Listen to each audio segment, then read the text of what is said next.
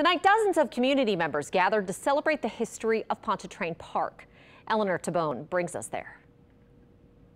Amid the excitements of Essence Festival and the events this weekend, the community tonight recognised the significance of Pontchartrain Park. That was a glorious day, I can tell you that. Mrs. Audrey Woods moved to Pontchartrain Park in 1958. It was $500 for the closing costs, and that included one whole year of insurance.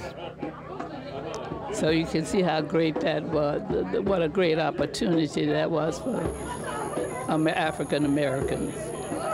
I'm so glad I was a part of. The neighbourhood she went on to raise her four children, teaching them the meaning of perseverance. Kids would walk to the bus stop. In fact, I had to get up early in the morning because the other race was would throw rocks after we passed what we call the ditch, and that separated us from them. Pontchartrain Park was built between 1955 and 1961.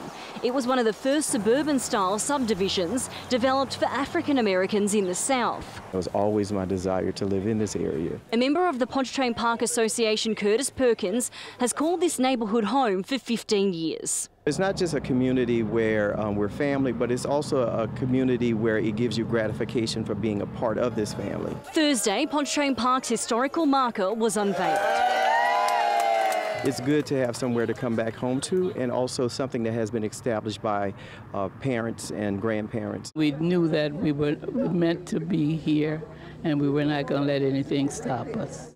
It's this park long-time residents told me they once came to to hang out with their neighbourhood friends. Those same residents want future generations to enjoy this park as much as they did. Eleanor Tabone, Eyewitness News.